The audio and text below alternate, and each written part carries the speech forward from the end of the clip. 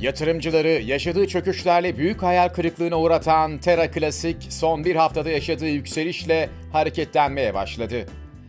Haftanın başından bu yana %32'lik bir yükseliş gösteren Leung, yüzünü uzun zaman sonra yukarı çevirdi. Peki Terra Classic'i canlandıran etkenler nelerdi?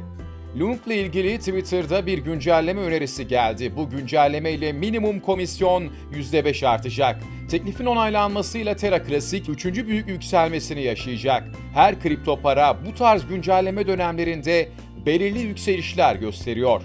Bu yükseltme ile amaç Terra'yı daha güvenli ve stabil bir blockchain haline getirmek. Bu durumda hiç kuşkusuz daha çok yatırımcı ve daha istikrarlı bir yükseliş demek. 14 Haziran kritik tarih olarak belirleniyor. Sonrasında ise Leung yatırımcılarını neyin beklediğini hep beraber göreceğiz.